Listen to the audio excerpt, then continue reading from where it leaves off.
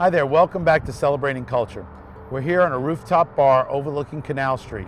Canal Street's been around for hundreds of years in New Orleans. It's got a lot of history, and I'm with Sal Perricone. Sal, welcome to the show. Yeah, good morning, Charles. We have obviously the lynching of the Italians.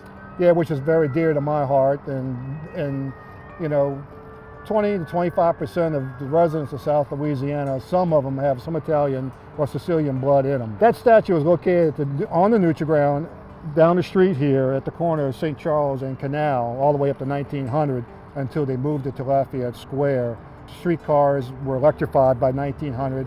We had some automobiles and they kept running into it. And that was the meeting spot in New Orleans. It was like, hey, meet me under the D.H. Holmes clock. No, back then it was meet me by the Clay statue. That's where the lynching was was planned. We're here today at the Italian Museum. They're focusing on that incident in 1891 here. There's one part here which fascinated me.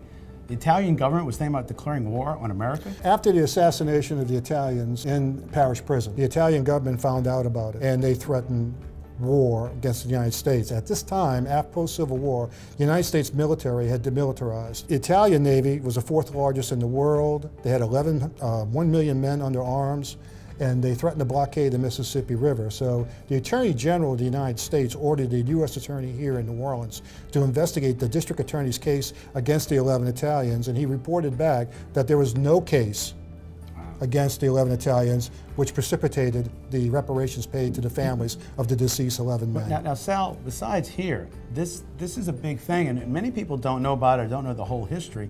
But actually, if you go to Las Vegas, it's in a museum in Las Vegas, they talk about it. And we used to have the Wax Museum here in New Orleans on Conti Street, which closed last year. Mm -hmm. But that had a display mm -hmm. about it. For many years or decades, this was a big part of the city's history. This is one of the saddest episodes in New Orleans history.